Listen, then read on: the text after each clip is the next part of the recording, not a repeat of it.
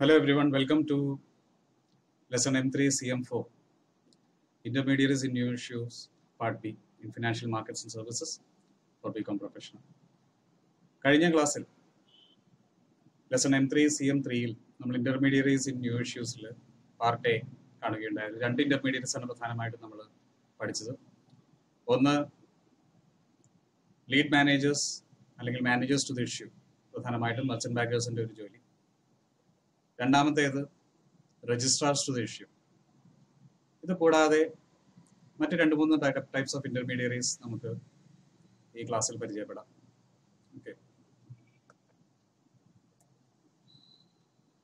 മൂന്നാമത്തെ കാറ്റഗറി അതായത് ഈ ലെസണിലെ ഫസ്റ്റ് കാറ്റഗറി ഓഫ് ഇന്റർമീഡിയറി എന്ന് പറയുന്നത് അണ്ടർ റൈറ്റേഴ്സ് ആണ്. നമുക്കൊരു വിധത്തിൽ അല്ലെങ്കിൽ മറ്റൊരു വിധത്തിൽ അണ്ടർ റൈറ്റേഴ്സിനെ മുൻപ് കേട്ട് കാണണം അല്ലെങ്കിൽ പരിചയപ്പെട്ടിട്ടുണ്ടാവണം. എന്താണ് അണ്ടർ റൈറ്റർ അണ്ടർ റൈറ്റർ എന്ന് പറഞ്ഞാൽ ഒരു പബ്ലിക് ഇഷ്യൂ ഏതെങ്കിലും രീതിയിൽ പൊതുജനം സബ്സ്ക്രൈബ് ചെയ്യാത്ത ഒരു സ്ഥിതിവിശേഷം ഉണ്ടായാൽ in case minimum subscription is not given by the public for any public issue under an underwriting agreement, an underwriter agrees to subscribe to the issue. ഏതെങ്കിലും കാരണവശാൽ ഒരു പബ്ലിക് ഇഷ്യൂയിൽ പൊതുജനം മിനിമം സബ്സ്ക്രിപ്ഷൻ പോലും കൊടുക്കാത്തൊരു സ്ഥിതി വന്നു കഴിഞ്ഞാൽ അല്ലെങ്കിൽ പൊതുജനം ആ ഇഷ്യൂ വേണ്ട രീതിയിൽ ഉദ്ദേശിച്ച രീതിയിൽ സബ്സ്ക്രൈബ് ചെയ്യാതെ വന്നാൽ ഒരു അഗ്രിമെന്റിന് കീഴിൽ ആ ഷെയർ ഇഷ്യൂയിലേക്ക് സബ്സ്ക്രൈബ് ചെയ്യുന്ന ഒരു വ്യക്തിയോ ഒരു കോർപ്പറേറ്റ് സ്ഥാപനത്തെയോ നമ്മൾ അണ്ടർറൈറ്റർ എന്ന് പറയുന്നു. പബ്ലിക് ഇഷ്യൂ ഒരു ഫെയിലിയർ ആകാതിരിക്കാൻ വേണ്ടി സ്ഥാപനങ്ങൾ എടുക്കുന്ന ഒരു ഗ്യാരണ്ടി പോലെയാണ് അണ്ടർ റൈറ്റിംഗ് ഒരു certain amount of subscription receive ചെയ്തില്ലെങ്കിൽ അത് മിനിമം സബ്സ്ക്രിപ്ഷൻ ആകാം അല്ലെങ്കിൽ വേറെ ഏതെങ്കിലും ഒരു ഫിഗർ ആകാം. ഇനി അതല്ലെങ്കിൽ entire issue public എടുത്തില്ലെങ്കിൽ underwriter will step in and subscribe to that share issue ഇതാണ് അണ്ടർ റൈറ്ററുടെ ജോലി. ഈ ഒരു പ്രോസസ്സിനാണ് നമ്മൾ അണ്ടർ റൈറ്റിംഗ് എന്ന് പറയുന്നത്. സാധാരണഗതിയിൽ മിനിമം സബ്സ്ക്രിപ്ഷൻ കിട്ടുന്നതിന് വേണ്ടിയായിട്ടാണ് നമ്മൾ അണ്ടർ റൈറ്ററെ കരാറിൽ ഏർപ്പെടുന്നത്. അണ്ടർ റൈറ്ററുമായി കരാറിൽ ഏർപ്പെടുന്നത്. സാധാരണഗതിയിൽ മിനിമം സബ്സ്ക്രിപ്ഷൻ എന്ന് പറഞ്ഞാൽ issued ക്യാപിറ്റലിന്റെ ninety percentage within one twenty days of opening of issue underwriters സാധാരണഗതിയിൽ അപ്പോയിന്റ് ചെയ്യുന്നത് ഇഷ്യൂയിങ് കമ്പനി മെർച്ചന്റ് ബാങ്കേഴ്സ് അല്ലെങ്കിൽ നമ്മൾ നേരത്തെ കഴിഞ്ഞ ക്ലാസ്സിൽ കണ്ട ലീഡ് മാനേജേഴ്സുമായിട്ട് ഒരു ഡിസ്കഷന്റെ ഒരു കൺസൾട്ടേഷന്റെ ബേസിസിലാണ് underwriters underwriters appoint ചെയ്യപ്പെടുന്നത്. അണ്ടർ റൈറ്റേഴ്സും നേരത്തെ ഞാൻ സൂചിപ്പിച്ചു അണ്ടർ റൈറ്റേഴ്സ് ഓപ്പറേറ്റ് ചെയ്യുന്ന ഒരു അഗ്രിമെന്റിന് കീഴിലാണ്. അപ്പൊ ഈ അഗ്രിമെന്റിൽ കൃത്യമായിട്ട് മെൻഷൻ ചെയ്തിട്ടുണ്ടാകും അണ്ടർ റൈറ്ററുടെ ഒബ്ലിഗേഷൻ എന്താണ് അണ്ടർ റൈറ്ററുടെ ഫീ അല്ലെങ്കിൽ കമ്മീഷൻ അണ്ടർ റൈറ്റിംഗ് കമ്മീഷൻ എത്രയായിരിക്കും? എത്ര കാലയളവിലേക്കാണ് ഈ അണ്ടർ റൈറ്റിംഗ് അഗ്രിമെന്റ് വാലിഡ് ആയിരിക്കുക? What is a duration or what is a time period for which underwriting agreement will be in force അപ്പോൾ അപ്പൊ ഇത്തരം കാര്യങ്ങളെല്ലാം ചേർന്നതാണ് underwriting agreement underwriters സാധാരണഗതിയിൽ സെബി ആയിട്ട് ഒരു രജിസ്ട്രേഷൻ അല്ലെങ്കിൽ സെബിയിൽ രജിസ്റ്റർ ചെയ്തിട്ടുണ്ടാവണം. വർഷാവർഷം ഈ രജിസ്ട്രേഷൻ പുതുക്കണം ഒരു ഫീസിന്റെ അടിസ്ഥാനത്തിൽ. അതുപോലെ തന്നെ ഒരു അണ്ടർ റൈറ്റർക്ക് ഏറ്റെടുക്കാവുന്ന മാക്സിമം കമ്മിറ്റ്മെന്റ് വമ്പൻ ഇഷ്യൂസ് ഒക്കെ വരുമ്പോൾ നമ്മൾ ഓടിച്ചെന്നിട്ട് ഞാൻ അണ്ടർ റൈറ്റർ ആണ് ഇങ്ങനെ അണ്ടർടേക്ക് ചെയ്യാമെന്ന് പറയാൻ അങ്ങനെ നമുക്ക് പറയാം as a safety measure SEBI നിശ്ചയിച്ചിട്ടുണ്ട്. ഒരു അണ്ടർറൈറ്റർക്ക് അയാളുടെ നെറ്റ്വർത്തിന്റെ അയാളുടെ ആകെ ആസ്തി മൂല്യത്തിന്റെ ടോട്ടൽ അയാളുടെ നെറ്റ് വർത്തിന്റെ ട്വന്റി ടൈംസ് മാത്രമേ ഒരു അണ്ടർ റൈറ്റർക്ക് അണ്ടർ റൈറ്റ് ചെയ്യാൻ പാടുള്ളൂ. അതൊരു റെസ്ട്രിക്റ്റീവ് ക്ലോസ് ആണ്. അപ്പൊ ഇതാണ് അണ്ടർ റൈറ്റർ എന്ന് പറയുന്ന ഇന്റർമീഡിയറ്റ് അടുത്തത് ബാങ്കേഴ്സ് ടു ദ ഇഷ്യൂ അപ്പൊ നമുക്കറിയാം ഒരു പബ്ലിക് ഇഷ്യൂ നടത്തുമ്പോൾ ഒരുപാട് പണം വരുന്നു. ഒരുപാട് പണം ചിലപ്പോൾ തിരികെ കൊടുക്കേണ്ടി വരുന്നു. ഷെയർസ് എടുത്തവർക്ക് വീണ്ടും ഷെയർസുമേ ചിലപ്പോൾ ഡിവിഡൻഡുകൾ കൊടുക്കേണ്ടി വരുന്നു. അപ്പോൾ ഡിബഞ്ചറുകളാണെങ്കിൽ അതിൽ ഇൻട്രസ്റ്റ് കൊടുക്കേണ്ടി വരുന്നു. അപ്പൊ ഇത്തരം പണസംബന്ധമായ കാര്യങ്ങൾ കൈകാര്യം ചെയ്യുന്നതിന് വേണ്ടിയിട്ടാണ്. അതിന്റെ കൂടെ മറ്റു ചില കാര്യങ്ങളും കൂടി ചേർത്ത് വരുന്നവരാണ് ബാങ്കേഴ്സ് ടു ദ ഇഷ്യൂ സാധാരണഗതിയിൽ ബാങ്കറായിട്ട് നിയമിക്കപ്പെടുന്നത് ഒരു പബ്ലിക്കേഷന്റെ ബാങ്കറായിട്ട് നിയമിക്കപ്പെടുന്നത് ഒരു ഷെഡ്യൂൾഡ് ബാങ്ക് ആയിരിക്കും. റിസർവ് ബാങ്കിന്റെ ഷെഡ്യൂളിൽ പെടുന്ന ഒരു ബാങ്ക് ആയിരിക്കും. അതായത് ഒരു സ്റ്റാൻഡിംഗ് ഉള്ള ഗവൺമെന്റ് അംഗീകൃത ഒരു ബാങ്ക് ആയിരിക്കും. എന്തൊക്കെയാണ് ഈ ബാങ്കർ ടു ചെയ്യുന്ന സാധാരണ കാര്യങ്ങൾ? First is acceptance of application and application monies നമുക്കറിയാം ഒരു പബ്ലിക്കേഷനിൽ പല സ്റ്റേജസ് ഉണ്ട് അല്ലേ?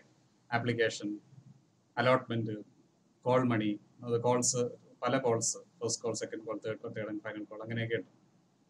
പണസംബന്ധമായിട്ട് ഈ ഓരോ സ്റ്റേജിലുള്ള ട്രാൻസാക്ഷൻസിൽ ഈ ബാങ്കർ ടു ഇഷ്യൂ ഇൻവോൾവ് ആണ്. First is application acceptance of application and application monies physical അല്ലെങ്കിൽ ഡിജിറ്റൽ ആപ്ലിക്കേഷൻ റിസീവ് ചെയ്യുക. അതിനോടൊപ്പം വരുന്ന ആപ്ലിക്കേഷൻ മണി റിസീവ് ചെയ്യുക. അലോട്ട്മെന്റ് മണി റിസീവ് ചെയ്യുക. കോൾ മണി റിസീവ് ചെയ്യുക. പലരും അപ്ലൈ ചെയ്തു. കുറച്ച് പേർക്ക് മാത്രമേ നമ്മൾ ഷെയർ ഇഷ്യൂ നടത്തുന്നുള്ളൂ. അപ്പോൾ അവർക്ക് റീഫണ്ട് ചെയ്യണം. അപ്പോൾ ആ റീഫണ്ട് പണം അങ്ങോട്ട് തിരികെ കൊടുക്കുക. ദെൻ ഷെയർസ് എടുത്തവർക്ക് അല്ലെങ്കിൽ ഡിബഞ്ചർ എടുത്തവർക്ക് അവരുടെ ഇൻവെസ്റ്റ്മെന്റിനുള്ള ഇൻട്രസ്റ്റ് റിട്ടേൺസ് ഇൻട്രസ്റ്റ് അല്ലെങ്കിൽ ഡിവിഡൻഡ് ഇതെല്ലാം എത്തിച്ചു കൊടുക്കുക. ഇത്തരം ട്രാൻസാക്ഷൻസ് എല്ലാം ഒരു ബാങ്കർ ആണ് ചെയ്യുന്നത്. സാധാരണ ഓൾ ഇന്ത്യ ബ്രാഞ്ച് നെറ്റ്വർക്ക് ഉള്ള ബാങ്ക്സിനെയാണ് നമ്മൾ ബാങ്കർ ടു ആയിട്ട് അപ്പോയിന്റ് ചെയ്യപ്പെടുന്നത്. കാരണം ഒരു പബ്ലിക് ഇഷ്യൂ എന്ന് പറയുമ്പോൾ ഇന്ത്യയിൽ എവിടെ നിന്നും പുറത്തുനിന്നും ഒക്കെ ആൾക്കാർ ഷെയർസിന് അപ്ലൈ ചെയ്തേക്കാം. അപ്പൊ അങ്ങനെ വരുമ്പോൾ അവരുടെ കൺവീനിയൻസ് കംഫർട്ടിനൊക്കെ വേണ്ടിയിട്ട് സാധാരണഗതിയിൽ എക്സ്റ്റൻസീവ് ബ്രാഞ്ച് നെറ്റ്വർക്ക് ഉള്ള ബാങ്കുകളെയാണ് ബാങ്കേഴ്സ് ടു ഇഷ്യൂ ആയിട്ട് അപ്പോയിന്റ് ചെയ്യുക. ജൈജാന്റിക് ഇഷ്യൂസ് വലിയ ഹ്യൂജ് ഇഷ്യൂസ് ഒക്കെ ആണെന്നുണ്ടെങ്കിൽ ഒന്നിലധികം ബാങ്കേഴ്സ് ടു ദ ഇഷ്യൂ ഉണ്ടായിരിക്കും. ബാങ്കേഴ്സ് ടു ഇഷ്യൂ രണ്ട് ടൈപ്പായിട്ടാണ് വരുന്നത്. ആദ്യത്തേത് കളക്ടിങ് ബാങ്കേഴ്സ് കളക്ടിങ് ബാങ്കേഴ്സ് അപ്പൊ നമ്മൾ നേരത്തെ കണ്ടു പല രീതിയിലുള്ള പണം നമ്മൾ കളക്ട് ചെയ്യുന്ന ഒരു പ്രധാനപ്പെട്ട ജോലി ഇവർക്കുണ്ട്. ഈ കളക്ടിങ് ബാങ്കേഴ്സ് ഇത്തരത്തിൽ പണം കളക്ട് ചെയ്യുന്നു. അതാണ് അവരുടെ പ്രധാനപ്പെട്ട ജോലി. Money may be received in the form of cash cheques drafts അങ്ങനെ മറ്റു പല ഇൻസ്ട്രുമെന്റ്സ് പല രീതിയിൽ ക്യാഷ് കളക്ട് ചെയ്യും. ഇത് കൂടാതെയാണ് കോർഡിനേറ്റിംഗ് ബാങ്കേഴ്സ് കോർഡിനേറ്റിംഗ് ബാങ്കേഴ്സ് ഒരു സെക്കൻഡറി റോളാണ് they may assist the collecting banker in collection അതൊന്ന്. അതുകൂടാതെ പബ്ലിക് ഇഷ്യൂവിൽ ആപ്ലിക്കേഷൻസും അലോട്ട്മെന്റും റീഫണ്ടും ഒക്കെ ബന്ധപ്പെട്ട് കണ്ടമാനം ഇൻഫർമേഷൻ ഡേറ്റ മെയിന്റെയിൻ ചെയ്യേണ്ടി വരും. എത്ര സബ്സ്ക്രൈബേഴ്സ് ഓരോ ദിവസവും അപ്ലൈ ചെയ്തു. അപ്ലൈ ചെയ്തവരിൽ എത്ര പേര് അതിനോടൊപ്പം പണം തന്നു. കോൾസ് വിളിച്ചപ്പോൾ എത്ര പേര് കോൾസിന് റെസ്പോണ്ട് ചെയ്ത് പണം തന്നു. എത്ര പേർക്ക് ഷെയർ അലോട്ട് ചെയ്തു. അലോട്ട് ചെയ്തവർ അലോട്ട്മെന്റ് മണി തന്നോ? ഇപ്പം ഇങ്ങനെയുള്ള എത്ര പേർക്ക് ഷെയർ ഇഷ്യൂ ചെയ്തില്ല. അപ്പോൾ ഇഷ്യൂ ചെയ്യാത്തതുകൊണ്ട് അവർക്ക് പണം റീഫണ്ട് കൊടുക്കണം. അപ്പോൾ കണ്ടമാനം ഡേറ്റ ഇൻഫർമേഷൻ അപ്പോൾ ഇത് കളക്ട് ചെയ്ത് പ്രോസസ്സ് ചെയ്യുക എന്നുള്ളതാണ് ഒരു കോർഡിനേറ്റിംഗ് ബാങ്കർ ചെയ്യുന്നു. ഓക്കെ ഡിസ്കഷൻ കണ്ടിന്യൂ ചെയ്യുന്നു. നമ്മൾ നേരത്തെ കണ്ട അണ്ടർ റൈറ്ററിന്റെ പോലെ തന്നെ ബാങ്കർ ടു ഇഷ്യൂവിനും ഒരു പബ്ലിക് ഇഷ്യൂവിന്റെ ബാങ്കർ ആകുന്നതിന് വേണ്ടി every banker will need to have a certificate of registration from SEBI അത് ഈ പറഞ്ഞ പോലെ ഒരു രജിസ്ട്രേഷൻ ഫീ ഉണ്ടായിരിക്കും. ഒരു ആനുവൽ റിന്യൂവൽ ഫീ ഒക്കെ ഉണ്ടായിരിക്കും. സെബിയുടെ ഒരു കൺട്രോൾ എപ്പോഴും ബാങ്കർ ടു ഇഷ്യൂന്റെ മേത്തുണ്ട്. കാരണം on demand banker to issue will have to submit various types of information to SEBI അത് ഓൺ ആണ്. എപ്പോൾ ചോദിച്ചാലും കൊടുക്കണം. അപ്പൊ അതിൽ ചില പോയിന്റ്സ് ഇതൊക്കെയാണ്. എത്ര ഇഷ്യൂസിന് നിങ്ങൾ ബാങ്കർ ടു ഇഷ്യൂ ആയിരുന്നു? എത്ര ആപ്ലിക്കേഷൻസ് റിസീവ് ചെയ്തു? ഓരോ ഇഷ്യൂവിൽ സെപ്പറേറ്റ് ആയിട്ട് ചിലപ്പോൾ ചോദിച്ചിരിക്കും. എത്ര ആപ്ലിക്കേഷൻ റിസീവ് ചെയ്തു? എത്ര ആപ്ലിക്കേഷൻ മണി റിസീവ് ചെയ്തു? ആപ്ലിക്കേഷൻസ് റിസീവ് ചെയ്തത് കമ്പനിക്ക് അല്ലെങ്കിൽ രജിസ്ട്രാർ ടു ഇഷ്യൂവിന് എപ്പോൾ നിങ്ങൾ ഫോർവേഡ് ചെയ്തു? റീഫണ്ട് എത്ര കൊടുത്തു? ഏത് ദിവസം ഓരോരുത്തർക്ക് കൊടുത്തു. അപ്പൊ ഇങ്ങനെ ഇടത്തൊക്കെ ചിലപ്പോൾ ചില ഡിസ്പ്യൂട്ട്സ് ഉണ്ടാകുമ്പോഴോ അല്ലെങ്കിൽ ചില ഇൻവെസ്റ്റിഗേഷൻസിന്റെ ഭാഗമായിട്ടൊക്കെ സെബി ചിലപ്പോൾ ഈ ഡേറ്റ ചോദിച്ചിരിക്കും. അല്ലെങ്കിൽ ഒരു ഓഡിറ്റിന്റെ ഭാഗമായിട്ട് സെബി ചോദിച്ചിരിക്കും. അപ്പൊ എപ്പോൾ ചോദിച്ചാലും ഈ രീതിയിലുള്ള ബാങ്കറുടെ ഇഷ്യൂ അയാൾ ചെയ്യുന്ന ജോലികളുമായി ബന്ധപ്പെട്ടുള്ള ഇൻഫർമേഷൻ സെബിക്ക് കൊടുക്കാൻ ബാധ്യസ്ഥനാണ്. Okay next is broker to the issue brokers to the issue broker എന്ന് പറയുമ്പോൾ നമുക്ക് പേര് സൂചിപ്പിക്കണ പോലെ നമുക്ക് മനസ്സിലാവും. ഒരു ബ്രോക്കർ എന്ന് പറയുന്നത് എപ്പോഴും ഒരു വാങ്ങുന്ന ആളും വിൽക്കുന്ന ആളും തമ്മിലുള്ള ഒരു ഇടനിലക്കാരനാണ്. Is an intermediate between buyer and the seller സാധാരണഗതിയിൽ ഒരു പബ്ലിക് ഇഷ്യൂ നടക്കുമ്പോൾ ഇഷ്യൂ സബ്സ്ക്രൈബ് ചെയ്യാൻ ആളെ കൊണ്ടുവരുന്ന അല്ലെങ്കിൽ ഇഷ്യൂ സബ്സ്ക്രൈബ് ചെയ്യാൻ ഇൻവെസ്റ്റേഴ്സിനെ കൊണ്ടുവരുന്ന ഒരാളാണ് broker act as a connecting link between the issuer issuer എന്ന് പറഞ്ഞാൽ organisation doing the share issue അതായത് seller as well as investors investors means buyers of the shares ഒരു ബ്രോക്കർ മാത്രമാകണം എന്ന് നിർബന്ധമില്ല. ഒരു പബ്ലിക്കേഷൻ മൾട്ടിപ്പിൾ ബ്രോക്കേഴ്സ് ഉണ്ടാകാം. വൺ തിങ് വലിയ multiple brokers like set multiple bankers ഉണ്ടാകാം എന്ന് പറഞ്ഞ പോലെ there can be multiple brokers also ഇനി ബ്രോക്കർ വേണമെന്ന് നിർബന്ധമില്ല ബ്രോക്കർ ഉണ്ടായിരിക്കണമെന്നും കമ്പൽസറി ഒന്നുമല്ല. ബ്രോക്കറുടെ റെമ്യൂണറേഷൻ ബ്രോക്കറേജ് അല്ലെങ്കിൽ ബ്രോക്കർ കമ്മീഷൻ എന്ന് പറയുന്നത് one to one point five percentage of the issue price of securities സെക്യൂരിറ്റിയുടെ issue price എത്രയാണ്? അതിന്റെ one to one point five percentage ആണ്. ഒരു റേഞ്ച് ആണ്. ബ്രോക്കേഴ്സ് റെമ്യൂണറേഷൻ ബ്രോക്കേഴ്സ് സാധാരണ നമ്മൾ സ്റ്റോക്ക് എക്സ്ചേഞ്ചിലൊക്കെ മനസ്സിലാക്കുന്ന ബ്രോക്കേഴ്സ് പോലെ തന്നെയാണ്. അവർ they should be they are usually members of a registered stock exchange ബ്രോക്കറുടെ functions നമ്മൾ പൊതുവെ നോക്കിക്കഴിഞ്ഞാൽ ബ്രോക്കർക്ക് ചെയ്യാവുന്ന ഫംഗ്ഷൻസ് എല്ലാ ഫംഗ്ഷൻസും നിർബന്ധമായിട്ട് ഒരു ബ്രോക്കർ ചെയ്യേണ്ട ആവശ്യം വന്നോളണമെന്നില്ല കാരണം ബ്രോക്കർ വേണം തന്നെ കമ്പൽസറി അല്ല. ബ്രോക്കർക്ക് ചെയ്യാവുന്ന ഫംഗ്ഷൻസ് പലതുണ്ട്. നേരത്തെ നമ്മൾ സൂചിപ്പിച്ച അണ്ടർ റൈറ്റിംഗ് വേണമെങ്കിൽ ഒരു ബ്രോക്കർക്ക് ചെയ്യാം.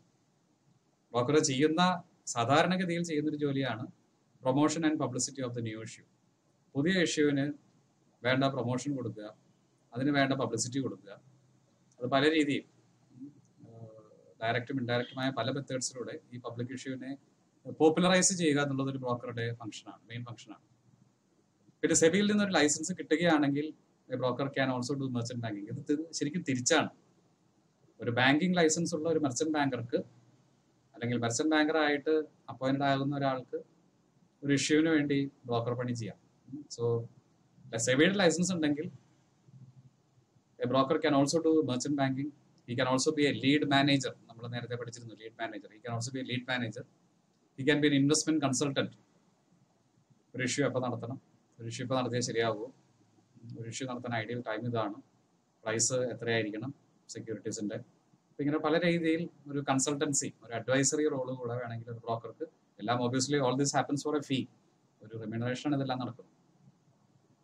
Brokers can also act as principal and agents broker can act as agent public issue നടത്തുന്ന കമ്പനിയുടെ ഒരു ഏജന്റ് ആകാം. അതുപോലെ സബ് ബ്രോക്കേഴ്സിനെ അപ്പോയിന്റ് ചെയ്ത് അവരുടെ പ്രിൻസിപ്പാളായിട്ട് ഒരു ബ്രോക്കർക്ക് വർക്ക് ചെയ്യാം. ഇഷ്യൂമായിട്ട് കണക്റ്റഡ് ആയിട്ട്. സബ് ബ്രോക്കേഴ്സിന്റെ പ്രിൻസിപ്പാളാണ് അതുപോലെ തന്നെ കമ്പനിയുടെ ഒരു ഏജന്റ് ആണ്. He can act as both principal and agents legally ഈ രണ്ട് റോളും ഒരു ഇഷ്യൂ ആയി ബന്ധപ്പെട്ട് ഒരു ബ്രോക്കർക്ക് എടുക്കാവുന്നതാണ്. He can also be a jobber jobber എന്ന് പറഞ്ഞാൽ സ്വന്തം ആവശ്യത്തിന് വേണ്ടി ഷെയർസ് വാങ്ങുകയും വിൽക്കുകയും ചെയ്യാം. He can also subscribe to issue in his own right അല്ലേ? മറ്റാൾക്കാർക്ക് ഷെയർസ് വാങ്ങാൻ കമ്മീഷൻ വ്യവസ്ഥയിൽ ഏർപ്പാട് ചെയ്യുന്ന പോലെ ഇയാൾക്ക് സ്വന്തം ആവശ്യത്തിന് വേണ്ടി ഞാനൊരു പതിനായിരം ഷെയർ ആയിരം ആൾക്കാർക്ക് കമ്മീഷൻ വ്യവസ്ഥയിൽ വിറ്റു. ഇത് കൂടാതെ ഒരു അയ്യായിരം ഷെയർ ഞാൻ എന്റെ സ്വന്തം പേരിൽ എന്റെ ആവശ്യത്തിനും വാങ്ങി. ഇതിനാണ് നമ്മൾ ജോബർ എന്ന് പറയുന്നത്. He buys and shares he buys and sell securities for his own investments അപ്പൊ ഇതാണ് ബ്രോക്കേഴ്സ് ടു ഇഷ്യൂവിന്റെ പ്രധാനപ്പെട്ട കാര്യം.